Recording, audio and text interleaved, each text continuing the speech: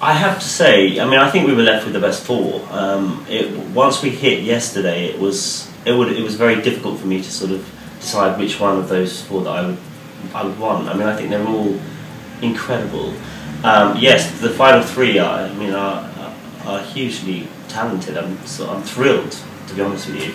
Uh, they all bring something really special, and um, I think they'll. Yeah, I think whichever one wins at this stage, I think will be will be fabulous. Ben has a sort of beauty about the way he performs. There's a sort of gentleness um, about him, but he also knows how to really get tough when, when he needs to. Um, and the quality of his voice is just like crystal. It's so beautiful.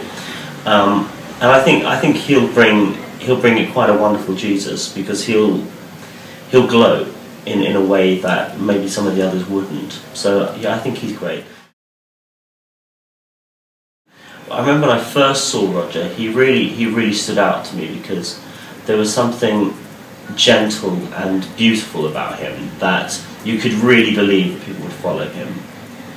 Um, and you know, ordinarily, you know, people would be looking more towards a heavy rock voice for that particular role, and hearing it with a soul voice actually works really well uh, in the contrast of having a sort of Judas who's going to have a rock voice and having a Jesus who has a more soulful voice, when the two of them speak to one another, it doesn't sound like an aggressive argument. It actually sounds like two individuals, and I quite like that about Roger. So um, yeah, I think he's he's he's wonderful.